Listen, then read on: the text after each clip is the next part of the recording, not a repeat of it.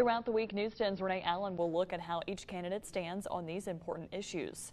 This morning, we hear from the candidates about the crime problem sweeping the state. In Louisiana, the issue of crime weighs heavily on the minds of many people. Also, many of those same people are hoping for the issue of crime to be on the minds of the candidates campaigning for governor. The rise of crime is at the forefront for law enforcement, community leaders, and impacted families. Republican candidate State Senator Sharon Hewitt says she hears about it as she travels the state. We need real truth in sentencing, and we need the technology so that all of these agencies can better communicate and work together. Democratic candidate and former Secretary of the Louisiana Department of Transportation and Development, Shawn Wilson, plans to tackle crime from its base how are you investing in mental health? How are you investing in addressing the unhoused issue that we see in communities that makes people unsafe?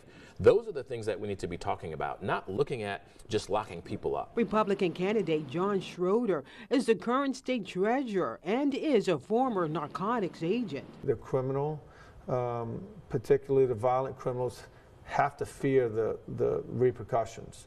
Uh, because if you don't, you, you're just not going to get control of it. Lake Charles attorney Hunter Lundy is the only candidate in the race for governor as an independent. We got to pay our policemen, and we got to pay our firemen.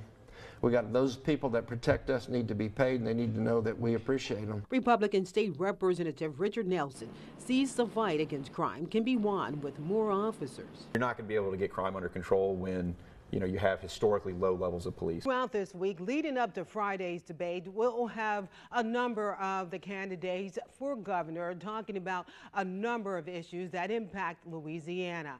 I'm Renee Allen for your KLFY local election headquarters. Again this Friday, the top seven candidates take the stage for the gubernatorial debate right here in Lafayette at KLFY Studios.